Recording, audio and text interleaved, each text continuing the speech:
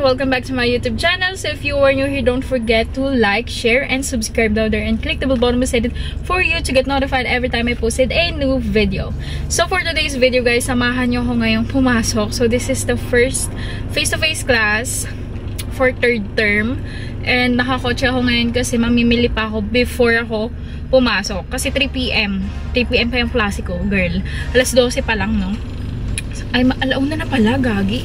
So, ayun guys, punta na ako sa depot para mamili ng mga stock sa, pan sa store. And then, saka ako pupunta ng school. Let's go! So, today we will have a case study in one subject, then reporting, tapos discussion, and then last subject will be asynchronous actually. Malapit na ako sa Ross Boulevard and as mentioned, mamimili pa ako kaya hindi pa ako didiretso ng school. So, yeah, samahan niyo muna akong mamili. So, nakarating na ako sa depot and medyo nagmamadali ako kasi ang dami palang tao pag ganitong oras. Inuna ko na muna yung mga palamig since medyo marami to. And then, sinunod ko yung mga syrup na nilalagay sa mga milk tea and shakes or scrambles. And then after ko makuha lahat ng kailangan kong bilhin, is pumunta na agad ako sa counter. Ipinila ko muna yung cart ko habang naghahanap ako ng ibang hindi ko pa makita. And para makuha ko yung mga pahabol na order. My cart looks like this and it's type to pay guys. And after ko magbayad is chinek na siya ng guard and nagload na kami sa sasakyan. Hi guys, tapos na ako magpa-karga ng mga pinamili ko and papunta naman ako ngayon ng school. So medyo traffic lang here. Hindi ko alam kasi yung road na to pero ayun, papunta na to ng MOA. Sa may double dragon kasi ako. So diretso lang naman to and then MOA na agad. So yeah. So nandito ako ngayon sa intersection tapat ng double dragon and nagugutom na ang ante. So, ito yung baon ko. Hindi to sponsored ng Gardenia, pero baka naman. Uy!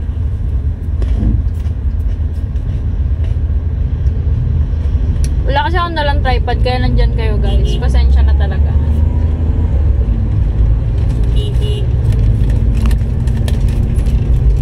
Guys, habang nagja-drive ako pa mawa, sabihin ko na rin yung ibang mechanics ng aking giveaway or free raffle.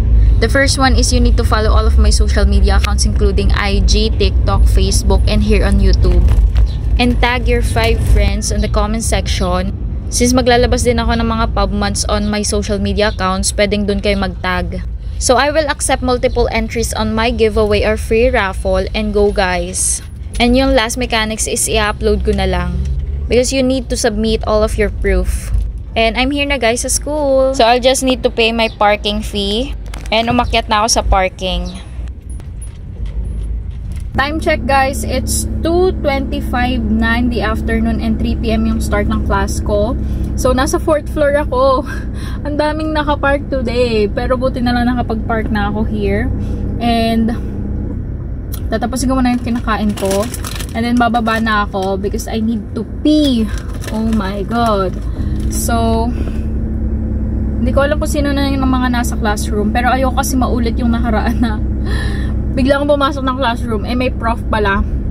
Tapos, akala ko, pinapasok na yung iba kong kaklase kasi may mga kaklase ako na student niya. So, huh, ewan ko. Guys, magsushoes na ako kasi naka-crocs ako. Medyo maingay lang. Hindi ko dala yung mic ko pala. I forgot din. So, mag-heels na ako kasi bababa na ako.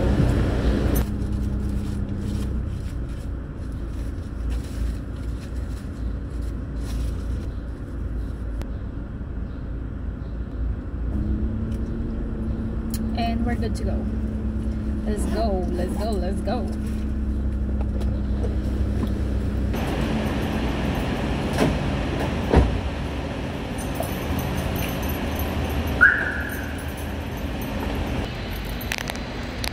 Pababa na ako ng second floor for restroom. Nag-elevator na ako para mabilis kasi medyo masakit sa paa yung stiletto ko. And pagkarating ko, medyo mahaba yung pila. Pero mabilis lang naman since 4 cubicles yung meron dito. Ngayon, papunta naman na ako ng school. Nagmamadali na ako kasi medyo malilate na yata ako. And I'm here na sa classroom and sakto lang yung dating ni Miss V. And later on, nag-attendance na rin. So, ganito siya magpa-attendance V. Yun, yun, yun. Okay, ah, Aryan. Narvana. Nasaan na? After the attendance, syempre brainstorming with the group mates kasi nga we will have our case study. Okay. So, attended ay sa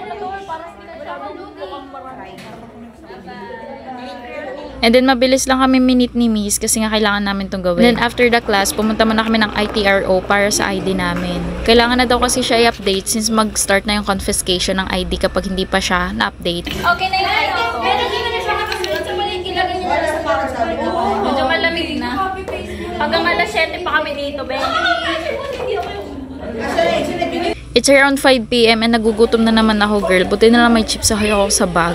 Binili ko kasi to sa may depot. Kasi nga in case na magutom ako, at least may pagkain pa rin ako. 'Di ba Ayaw na ayaw mawawala ng pagkain, be. Char. So kumakain lang ako dyan sa gilid kasi sila nagchichismisan at nakikinig lang naman ako. Taga-tawa, taga-react, ganun lang. 5 to 7 p.m. yung start ng next class. And wala na talaga akong magawa kundi magpa-cute dito sa iPad ni James. At ito naman yung ginagawa ng iba kong friends habang nag-aantay kay Sir X. Yung shift ng Chinese is palapit na ng palapit sa isla nila. After the news sharing is nag-discuss rin si Sir X. Sobrang bilis ng oras at 7pm na agad kaya lalabas na kami guys. Feeling ko mag-law school na to. Malapit na mag-law school si Dama, no? Sino yung partner mo? Ano? Ako sino kayo? Uy, sino yun? Si Sino Timmy. kaninang... Dimple. Ano kasi tayo alphabetical? Dimple tayo. Sino yung malapit sa inyo? Ikaw yata. Si Kabusi. Ay, ito. Anong subject yan? Sumaglit lang din kami sa restroom before bumaba. Kasi nagkayayaan kami sa food hall para kumain. And also para gumawa ng activity namin for a synchronous class. Kami-kami na lang din yung nasa campus nito. And mostly ng student is pababa na rin. Ito kasi yung ano. So sa Jollibee na ako nag-order kasi nakikrave ako sa spaghetti, fries, and burger steak nila. Ilang araw na kasing sunod-sunod na chicken yung pagkain ko kaya gusto ko burger steak naman. So dalawang mix and match yung in-order ko and it's worth 150 pesos only. Sabi ko pa naman magsisave na ako this term. Joke lang pala, hindi pa pala start. Char. So I claimed my order and went to KFC kasi doon nag-order si Kyle C and si Malia. Ewan ko ba kung dito lang sa KFC na to sobrang tagal ng service as in ang babagal kumilos ng mga staff nila unlike sa ibang fast food chains. So sa food hall kami nagpwesto kasi iba-iba yung gusto namin kainin girl. So kumain muna kami before kami mag-start gumawa ng mga activity namin. And right after that is kanya-kanyang uwi So, na. So nagpaiwan si Kelsey and Malia sa may IKEA kasi magtitingin-tingin daw sila. And ako, I decided to go home na kasi medyo late na sa gabi. And inaantok na rin ako kasi hindi na ako sanay na late natutulog as in. Sobrang binibreakout na kasi ako kapag late ako natutulog. And ang hirap niya na i-handle lalo na yung mga scars. So nasa parking na ako guys. And kinakabahan ako ng mga oras na to kasi konti na lang pala yung kotse dito. And Medyo nakakatakot siya if ever na open area to. Kaya hindi talaga ako pwede umuwi ng sobrang late. It's almost 9pm and let's go home guys. Thank you so much for watching this vlog and I hope you like it. So kung nagustuhan nyo, please don't forget to like, share, and subscribe there and click the bell button beside it for you to get notified every time I posted a new video. So guys, see you on my next daily vlog. Bye!